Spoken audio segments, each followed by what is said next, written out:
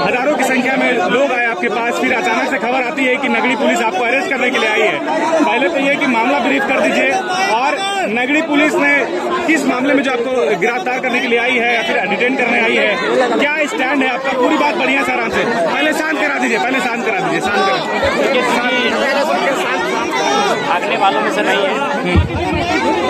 वहाँ भी हम स्पष्ट बोल और यहाँ भी स्पष्ट बोल मामला पहला बात की है कि एक साजिश जब आंदोलन हुआ था इक्कीस मार्च 2022 उस समय उस समय के जो डीएसपी थे उस क्षेत्र के उनका बयान था कि इन्होंने आंदोलन उसी क्षेत्र में किया है जहाँ आंदोलन की अनुमति तो कोई एफ़ नहीं होता। है। दो साल के बाद वारंट तैयार होता है।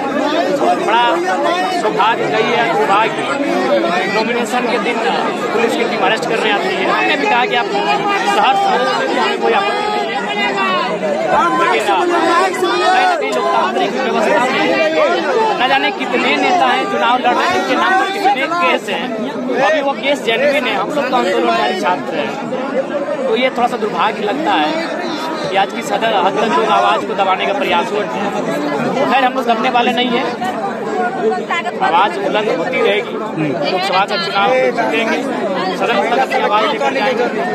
और मुझे उम्मीद है जनता अपने वोट से हमको उत्तर देने का विधानसभा घेराव आपने किया। ज़्यादा उस वक्त भी कभी काफ़ी संख्या में लोग आपके साथ थे। नियोजन नीति की आप बात कर रहे थे भाषण भी आपने कहा।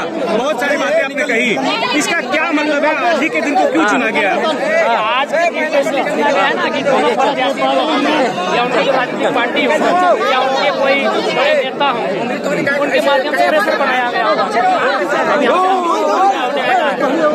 बिहार से नहीं आज जो पैसे लेकर भीड़ लगाते हैं डेढ़ लाख के लमसम लोग आए हैं इससे ये बात उखल गया फाइनली अपनी जयराम मातो क्या करेंगे? क्या जयराम मातो को डर लग रहा है? नहीं हमको डर रहा है। मरना है सबको डर के क्या करेंगे क्या दादा अभी विपक्ष का साजिश है क्या? देखिए किसी मुश्किल जयराम जी क्या क्या स्टेप है? चुनाव मुँह पर है। आप क्या स्टेप लेंगे? कैसे आप अपने वोटरों को सेटिस्फाई करेंगे?